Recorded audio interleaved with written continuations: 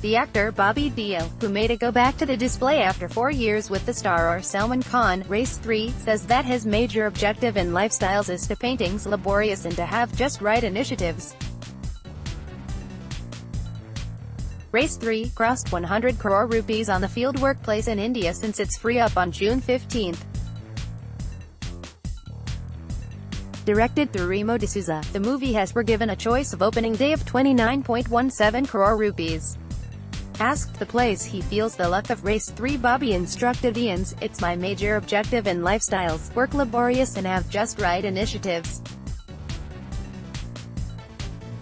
It does now not subject if I play the primary position or now not Bobby, 49, says he desires to be a part of films with just right topics. I'm simply having a look ahead to having just right characters to play and some great subjects to be a part of. The Barsat actor is especially keen to play in an actor.